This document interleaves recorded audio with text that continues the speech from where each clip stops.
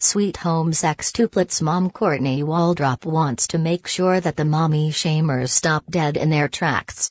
The mom to nine shares lots of updates on her public Instagram account. While this is great for Sweet Home Sextuplets fans, she doesn't always receive the most positive comments. There are plenty of people out there who go after her for how she raises her children. This time, however, Courtney Waldrop decided to put an end to the mommy shame before it was too late. It sounds like she's heard enough and knows in her heart that she's a great mother. She didn't want to read the negative things fans often comment on her posts. Courtney Waldrop stops the haters dead in their tracks. On Monday, Courtney Waldrop shared a new snap of Rayne and Rivers sleeping in their car seats.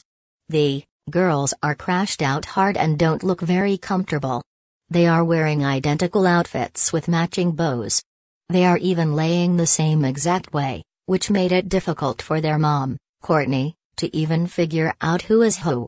While many fans would probably comment on how cute the girls look in the photo, Courtney knew what was coming her way.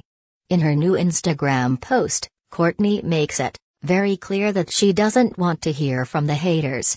So, she decides to stop them dead in their tracks before they even have a chance to comment anything negative. Most fans are just commenting positive things about the picture of the girls sleeping in their car seats. Fans can't help but gush over the adorable Waldrop girls napping in the car. They don't know how Rivers and Rayne are, sleeping so well like this.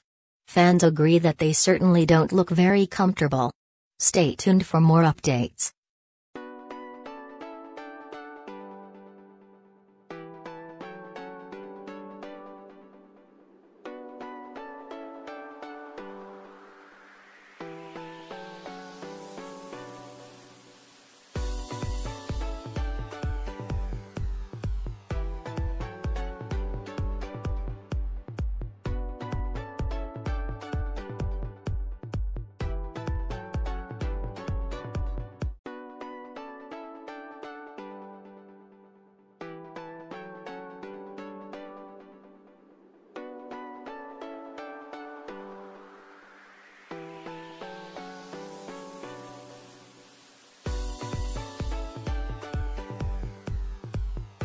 Girl about a 10. I should fuck her in a Benz.